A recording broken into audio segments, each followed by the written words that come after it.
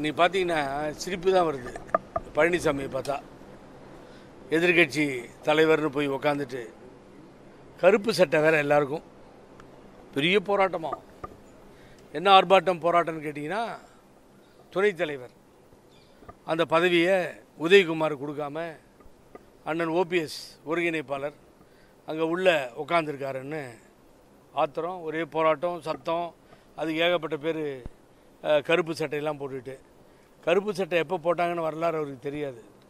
தந்தை பெரியார் ஆரம்பித்த இந்த தீண்டாமை ஒழிப்புக்கு அதை நீங்கும் வரை விடமாட்டேன் போட்ட கருப்பு சட்டை. தலைவர் புரட்சி தலைவர் எம்ஜிஆர் இலங்கை தமிழர்களுக்காக அவர்கள் வாழ்வு உரிமைக்காக அந்த மண்ணிலே தமிழர்கள் பாதுகாக்கப்பட வேண்டும் என்பதற்காக புரட்சி தலைவர் எம்ஜிஆர் போட்ட கருப்பு சட்டை. இன்னைக்கு யாருக்கு போட்டுட்டு இருக்காரு தெரியல பழனிசாமி? உதயகுமாருக்கு பாவம். அது வந்து நடைமுறையிலே இல்லாத பதவி. ஒரு சபாநாயகர் வானலாவிய அதிகாரம் படைத்தவர் என்பதை மறைந்த சபாநாயகர் பி. எச். பாண்டியன் சொன்னது தெரியும். நேற்று காலையில் பார்த்தீங்கன்னா ஒரு உயர்ந்த மனிதராக சபாநாயகர் அங்கே அமர்ந்து கொண்டு இது கேள்வி நிறையா ஒரு மணி நேரம் கேள்வி பதில் போகும். என்னை ரெண்டு பேரும் சேர்ந்து தான் உட்கார வச்சுருக்கீங்க நடைமுறையில் இருக்கிறது. அது முடிஞ்ச உடனே நான் அவகாசம் டைம் தரேன் நீங்கள் பேசுங்க நான் பதில் சொல்கிறேன் யாருக்கு ஃபேவராகவும் நான் எந்த முடிவும் எடுக்கலைன்னு சொல்லி ஒரு சபாநாயகர் மிக தெளிவாக சொல்லுகிறார். அப்பாவு அண்ணன் அவர்கள் மிக தெளிவாக சொல்கிறார் ஒரு ஆசிரியராக இருந்தவர் சபையை அமைதியான முறை முறையில் வழிநடத்துபவர்.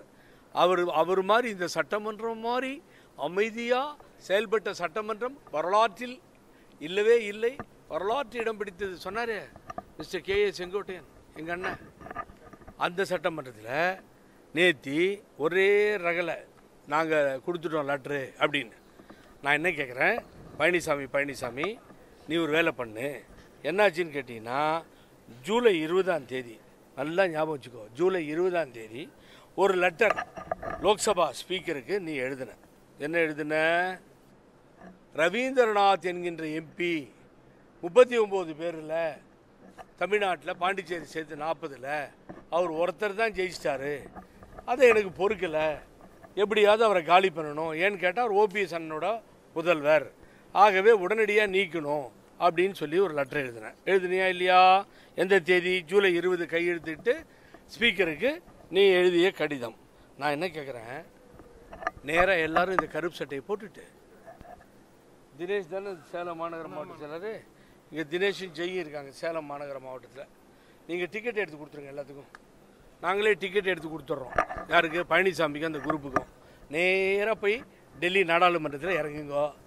இறங்கிட்டு நாடாளுமன்றம் எங்கே இருக்குன்னு காமிக்கிறதுக்கு வேணால் ஒரு ஆள் அனுப்புகிறேன் உங்கள் உங்கள் எம்பி ரெண்டு மூணு பேர் இருப்பாங்கல்ல அவங்கள கூட்டிகிட்டு போங்க. அங்கே போய் ஒழிக. நாடாளுமன்ற சபாநாயகர் ஒழிக. இந்த சபாநாயகரை அமர வைத்த மோடி ஒழிக.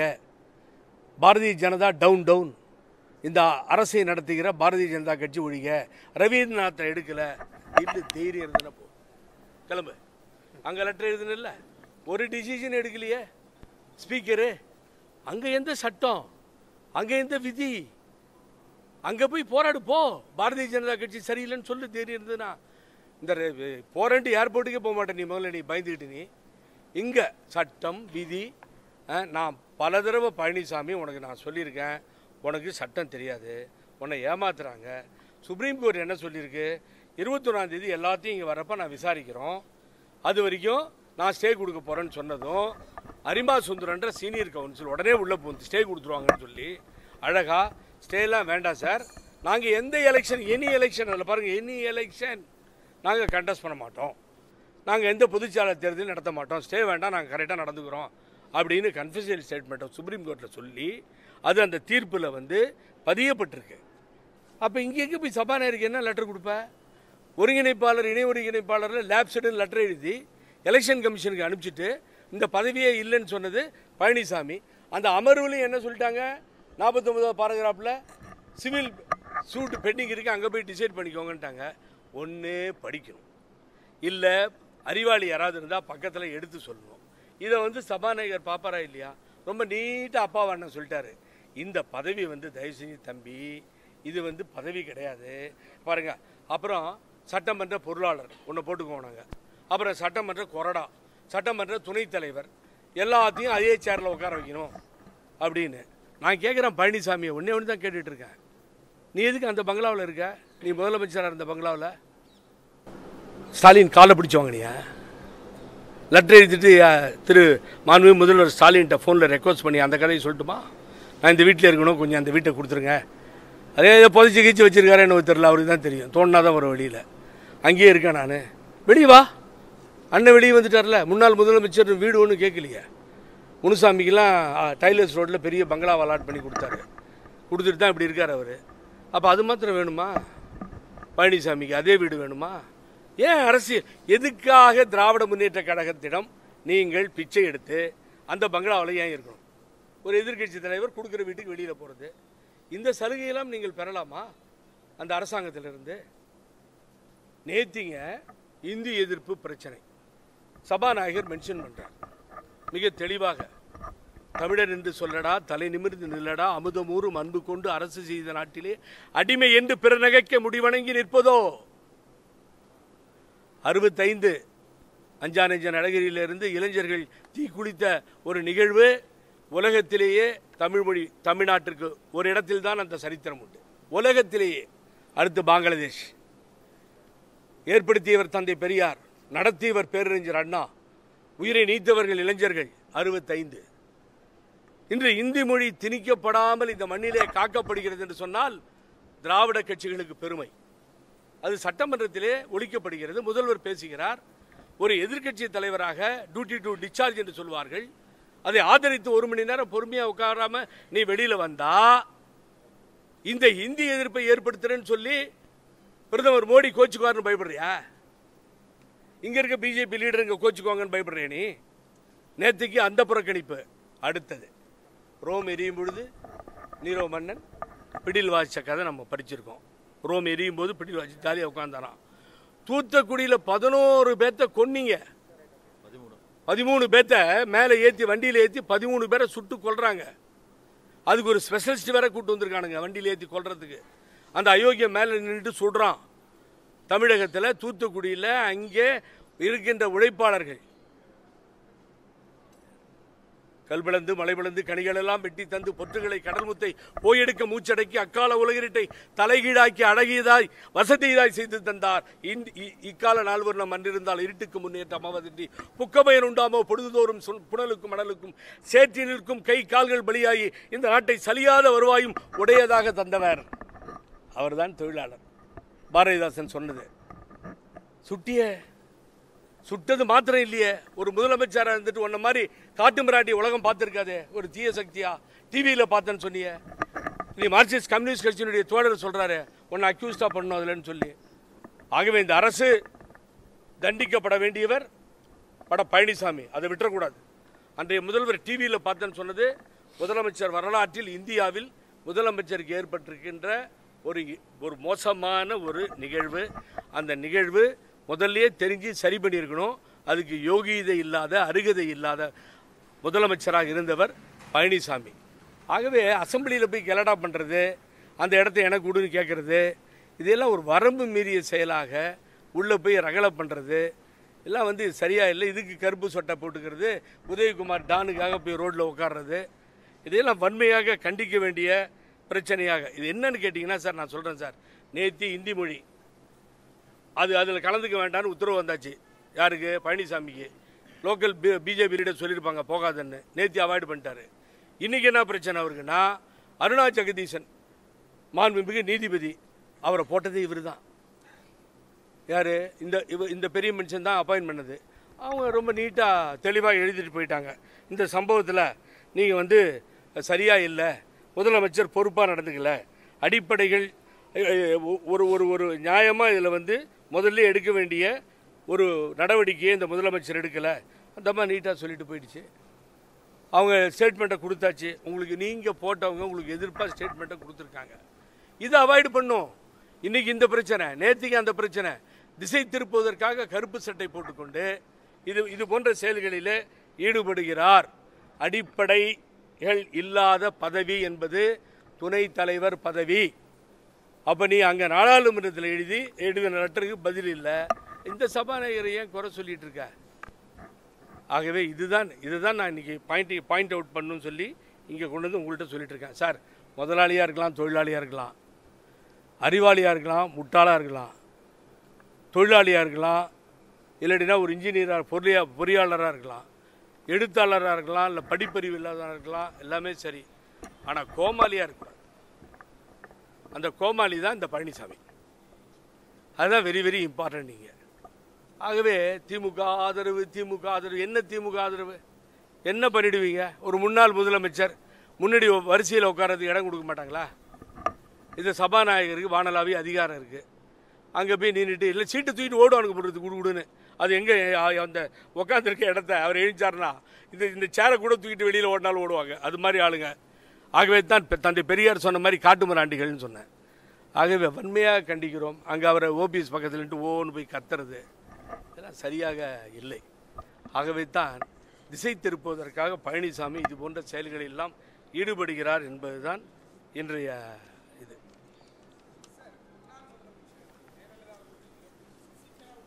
இது அந்த கவர் எங்க ஆ. ஒருத்தர் போய் எடுத்துருவாங்க. ம். கரெக்ட் மிக அருமையான கேள்வி. அதில் கடைசியாக உங்களுடைய ஒத்துழைப்போட கடைசியாக ஸ்டேட்மெண்ட் ரெக்கார்ட் ஆனது புகழேந்திக்கிட்ட இதே நீதிபதி தான் பதிவு பண்ணார். நான் என்ன கேட்குறேன் இதில் இதில் யார் தவறு செய்திருந்தாலும் நான் தெளிவாக இருக்கிறேன். அவர்கள் தண்டனைக்குரியவர்கள். அம்மாவை இழந்தது பெரிய பாதிப்பு ஏற்பட்டிருக்கும் என்று சொன்னால் அஇஅதிமுக உண்மையான தலைவர்கள் ஓபிஎஸ் போன்றவர்கள் என்னை போன்றவர்களுக்கு அது பெரிய பேரிழப்பு. எங்களால் தாங்கிக் கொள்ள முடியவில்லை. ஒரு தலைவியை இழந்து இந்த கட்சி தடுமாறுகிறது. இந்த சூப்பர் ஸ்டார் ரஜினிகாந்த் சொன்ன மாதிரி வெற்றிடமாக மாறிவிட்டது என்பதுதான் கால. அப்போ சொல்லும்போது நாங்கள் ஒத்துக்கலை. நானும் நாஞ்சில் அம்மன் ச- சம்பத்தும் எதிர்த்து பேசணும். இன்றைக்கி எவ்வளவு பெரிய தகராறு இந்த கட்சியை உடைக்க எடப்பாடி எல்லாம் முயற்சியெல்லாம் செய்கிறார் பாருங்கள் ஆனால் நான் கேட்கின்ற கேள்வி நீதிபதி அவர்களை நீங்கள் வந்து விசாரணை என்ன பண்ணியிருக்கணும் மருத்துவ ரீதியாக விசாரணை பண்ண சொல்லி தான் த கான்ஸ்டிடியூட்டட் திஸ் கமிட்டி இதை ஏற்படுத்தியவர் எடப்பாடி பழனிசாமி. இருபத்தி இரண்டாம் தேதி செப்டம்பர் சார் நோட் பண்ணிக்கோங்க. செப்டம்பர் காவேரி கூட்ட காவேரி கூட்டத்தில் அம்மா ஒரே ஸ்டெச்சில் ரெண்டு மணி நேரம் டிஸ்கஸ் செஞ்சாங்க. காவேரி சம்பந்தப்பட்ட அத்தனை விஷயங்களையும் அம்மா கேட்டறிந்தார்கள். அப்படின்னு சொன்னது முன்னாள் தலைமை செயலாளர் ராம்மோகன் ராவ். அதற்கு பின்னாலே நான் டெல்லிக்கு போனேன். அம்மா செல்லில் பேசுகிறாங்க சிலது விட்டு போச்சு. அதையும் சொல்லி கொடுத்தாங்க. அவங்க இறந்தது என்னால் நம்ப முடியல. ராம்மோகன் ராவ் சொன்னார். இது வேதனையாக இருந்தது நம்ம கேட்கறதுக்கு. அப்போ அம்மா நல்லா இருந்திருக்காங்க. இதே ஹாஸ்பிட்டலுடைய பிரதாப் ரெட்டி தலைவர். She can back to home walk to home எல்லாம் சொன்னார். நன்றாக இருக்கிறார்கள். அம்மா திரும்ப போகலாம் அப்படின்னு சொல்லி ஒரு ஸ்டேட் அந்த இதில் இருக்குது பாருங்கள் அறிக்கையில் இருக்குது அது நீங்கள் எடுத்தால் வரும். சொன்னார். அப்படி சொன்னது. யார் சொன்னது? அப்போலோ பிரதாப் ரெட்டி சொன்னது. சுத்தமான பொய். நீதிபதி ஆறுமுகசாமி நீதியரசர் சொல்லியிருக்கார். சுத்தமான பொய். ஒவ்வொரு முறையும் பொய்யை சொல்லியிருக்கிறார். அப்போலோ ஹாஸ்பிட்டல் சேர்மன் பொய்யை சொல்லியிருக்கிறார். நான் இதுக்கு ஒரு டிபே டிபேட்டில் ரொம்ப கிளியராக போனேன். இந்த டாக்குமெண்ட் கையிலே இருக்குது அதில் நான் வந்து உங்களுக்கு நான் படித்து கூட காமிச்சிருவேன். அதில் இருக்குது கிளியராக அப்போது நான் என்ன கேட்குறேன் நாலு பேரை நீங்கள் அக்யூஸ் பண்ணியிருக்கீங்க அக்யூசிங் அதான் நாலு பேர் மேலே நீங்கள் வந்து இது இதை வந்து கவர்மெண்ட் வந்து தயவு செய்து கூர்ந்து கவனிக்கணும். நாலு பேர் மேலே சொல்லியிருக்காங்க. யார் யார் மேலே? ஒன்று திருமதி வி கே சசிகலா என்கின்ற சின்னம்மா. ரெண்டாவது டாக்டர் கே எஸ் சிவகுமார். மூணாவது டாக்டர் ஜே ராதாகிருஷ்ணன். நாலாவது முன்னாள் அமைச்சர் டாக்டர் விஜயபாஸ்கர். மூணு பேர் டாக்டர் சார். ஓரளவுக்கு மருத்துவத்தை பற்றி தெரியும். சசிகலா நாட்டி டாக்டர். எனக்கு தெரிஞ்சு வி கே சசிகலா டாக்டர் கிடையாதுல்ல அப்போ அந்த மூணு பேரை சேர்த்தீங்க அவங்களையும் சேர்த்தீங்க. ரைட்டு. பிரதாப் ரெட்டியை பற்றி இங்கே சொல்லியிருக்கீங்க நீங்கள் டாக்டர் பிரதாப் ரெட்டி உண்மைகளை தெரிவிப்பதற்கான அதிகாரம் பெற்ற நபராக இருந்தோம். The authority of the hospital the chairman chairperson அதிகாரம் பெற்ற நபராக இருந்தும் செய்தியாளர் சந்திப்பில் மறைந்த முதல்வர் எந்த நேரத்திலும் டிஸ்சார்ஜ் செய்யப்படலாம் என்ற பொய்யான அறிக்கையை வெளியிட்டார். யார் குற்றவாளி? அஞ்சோகிராம் செய்யல கத்தியை போட்டு சர்ஜரி பண்ணணும். அம்மா மயக்கமாக இருக்காங்க. நல்லாயிட்டாங்க. இதெல்லாம் சொல்ல வேண்டியது இது அப்போலோ நிர்வாகம். நீதிபதி என்ன சொல்கிறாரு பொய் பேசியிருக்கார் பிரதி பிரதாப் ரெட்டின்னு சொல்லி நீட்டாக ஸ்டேட்மெண்ட் கொடுத்துருக்காரு கையில் இருக்குது அவர் கொடுத்த அறிக்கை. அப்போ யாரை நீ குற்றவாளியாக சேர்த்துருக்கணும் நீ? ஃபர்ஸ்ட் பர்சன் யாரை நீ ரெக்கமெண்ட் பண்ணியிருக்கணும்? பிரதாப் ரெட்டியோட குஞ்சு கொலாவுறீங்களா தமிழ்நாட்டில் நீங்கள் ஏன்னா ஏகப்பட்ட பணத்தோடு இருக்க பெரிய கோடீஸ்வரன். எல்லாருக்கும் வேண்டியவர் பிரதாப் ரெட்டி. நமக்கும் வேண்டியவர் உங்களுக்கும் வேண்டியவர். பிரசண்டாக இருக்கவங்களுக்கு வேண்டியவர் முன்னால் இருக்கவங்களுக்கு வேண்டியவர். ஆறுமுகசாமி எப்படி வேண்டியவர்? தென் பொய் சொல்லியிருக்காரு. யாரு சசிகலா? என்ன சம்பந்தம் சசிகலாவுக்கு? எடுத்துட்டு போய் ஆஸ்பத்திரியில் சேர்த்த பின்னாடி அவர் பொது சொத்து. She was chief minister of Tamil Nadu. முதலமைச்சர். முதலமைச்சர் விஷயத்தில் தலையிடுவதற்கு தனிப்பட்ட யாருக்கும் உரிமை இல்லை. எடுக்க வேண்டிய முடிவு கேபினட். கேபினட் முடிவெடுத்து கொண்டு போயிருக்கணும். ஃபாரினுக்கு ட்ரீட்மெண்ட்டுக்கு புரட்சி தலைவர் எம்ஜிஆரை கொண்டு சென்றது போல கொண்டு போயிருக்கணும் புருக்லினுக்கு அங்க அப்போ அதையே சொல்லலை? யாரோ ஒரு நபர் யாரோ ஒரு நபர் யார் யா நபர்? ஐயா ஆறுமுகசாமி அவர்களே உங்களை நான் வேண்டி கேட்டுக்கிறேன். அந்த நபர் பேரை சொல்லிட்டு போக வேண்டியதானே? இப்படிப்பட்ட ஒரு அறிக்கை. இதை நான் பூரா படித்தா நான் சொன்னேன் இருபத்தி ரெண்டாம் தேதி மீட்டிங் காவேரி. யார் மினிஸ்டர் யார் மினிஸ்டர் பிடபிள்யூடு அன்னைக்கு எடப்பாடி பழனிசாமி. கான்ஸ்டியூட் பண்ணவர் யாரு? பழனிசாமி. இந்த கமிஷனை அது மூணாவதா ஆர்கே நகர் எலெக்ஷன் பிரச்சாரத்தில் எனக்கு அதெல்லாம் எந்தவித சந்தேகமும் கிடையாதுன்னு சொன்னவர் பழனிசாமி. அதுக்கு பின்னால் கை நாட்டு ரொம்ப நல்லா கவனிக்கணும். பெரிய பிரச்சனையாக போச்சு கமிஷனில் கை நாட்டு வச்சிருக்காங்க ஏ ஃபார்ம் பி ஃபார்ம் அதில் நம்ம ஓம் சக்தி சேகர் கூட கூட போய் வாங்கிட்டு வந்தா அவர் பாண்டிச்சேரியில் நின்னார் அண்ணன். அப்போ அங்கேயே அந்த ரூமுக்கு முன்னாடி காலில் விழுந்து கும்பிட்டார். உள்ளே போக முடியாது இல்லை வெளியிலேருந்து விழுந்தார். விழுந்தா அப்போ அதில் கை நாட்டு ஒரு மடல் வருது உடனே ஹெட் ஆஃபீஸ்லேருந்து இராணுவ ராணுவ வீரர்கள் போல செயலாற்ற வேண்டும் அப்படின்னு ஒரு மடல் வருது நம்ம பார்த்தோம். அந்த மடலையும் பார்த்தோம். ஒன்றில் கை நாட்டு வருது. இன்னொன்றில் பார்த்தீங்கன்னா மடல் வருது. அதில் கையெழுத்து போட்டிருக்கு. இது என்னடா கான்ட்ரவர்சி ரெண்டும் இப்படி வருது? அப்படின்னு கமிஷனில் பல பேர் வந்து சொன்னதை பார்த்தோம். அப்போ யார் பதில் சொல்லும்? என்னையும் சேர்த்துக்கோங்க பரவாயில்ல. ஓபி சரணர்கிட்ட பரவாயில்ல. அப்போ யார் பதில் சொல்லணும்? ஐ அதிமுக ஹெட் ஆஃபீஸ் அப்போ ஹெட் ஆஃபீஸில் யார் தலைமை செயலாளர்? பழனிசாமி. எயிட் சி படி கூப்பிடலாம் கூட்டு விசாரணைன்னு சொன்ன விசாரிக்க சொன்னேன் விசாரிக்க போகிறேன்னு சொன்னார் நீதிபதி ஆறுமுகசாமி. அப்புறம் அந்த ஸ்டேட்மெண்ட் எனக்கு கொடுத்துருக்காரு என் ஸ்டேட்மெண்ட் எடுத்து ரெக்கார்ட் பண்ணி போதிய ஆதாரம் இல்லை கூப்பிடுவதற்கு. என்ன சார்? கன்சைன் மினிஸ்டர் பார்த்தாங்களா இல்லையா? யாருக்கு தெரியும் சார்? ராமமோகன் சொல்றது உண்மையா பொய்யா எப்படி சார் தெரியும்? ஆகவே ஏகப்பட்ட குளறுபடிகளை இதில் பார்க்க வேண்டியிருக்கிறது. மாண்புமிகு தமிழக முதல்வரையும் அரசையும் விசாரிக்கட்டும். எந்தவித விஹோ நோயினி அப்ஜெக்ஷன். இதில் யார் குற்றவாளியாக இருந்தாலும் தண்டிக்கப்பட வேண்டும். Correct you are correct correct you are correct yes yes அவர் ஆணையம் அமைக்க வேண்டும் என்று கேட்டார். ஆணையத்திற்கு பலமுறை வரவில்லை என்ற புகார் வந்தது. அதற்கு பின்னால் நான் அவரை பர்சனலாக கேட்டேன். நான் ஒவ்வொரு தடவையும் அப்புறமா வரலன்னு அவங்க தான் சொன்னாங்கன்னு சொல்லி சொன்னார். ச இறுதியாக ஆணையத்திட்ட போனார். அப்போ சொன்னவர் நீட்டாக சொன்னார். த பப்ளிக் இன்ட்ரெஸ்ட் அன்னைக்கு கேட்டாங்க. மக்கள் தெரிஞ்சுக்கணும்னு சொன்னாங்க. இன்றைய முதல்வர் சொல்வது போல் அவரும் அதை தெரிந்து கொள்வதற்குத்தான் ஆணையத்தை அமைக்க வேண்டும் என்று நான் அன்றைய தினம் சொன்னேன். தனிப்பட்ட முறையில் அன்றைய தினம் யாரையும் நான் குறை சொல்லவில்லை. இன்றைய தினமும் நான் குறை சொல்லவில்லை. ஆணையம் விசாரிக்கட்டும்னு சொல்லிட்டு வெளியில் வந்துட்டார். இது நடந்ததா இல்லையா? இதில் எங்கேருந்து தர்ம யுத்தம்லாம் வரும்? தர்ம யுத்தம் ராமாயணம் மகாபாரதம் அரசியல் எல்லாம் எதுக்கு நீதிபதி ஐயா ஆறுமுகசாமி எழுதியிருக்காரு எனக்கு தெரியல. அவர் இன்னொரு தடவை ஏதாவது ஒரு கமிஷனுக்கு சேர்மன் ஆகணுமோ? அது அவருக்கு தான் தெரியும் எனக்கு தெரியாது. So this is the problem ஆகவே இல்லாத அடிப்படை இல்லாத பதவிக்காக போராடி ஒரு கோமாளியாக திகழ்கிறார் பழனிசாமி என்பது என்பதுதான் இன்றைய பேட்டி.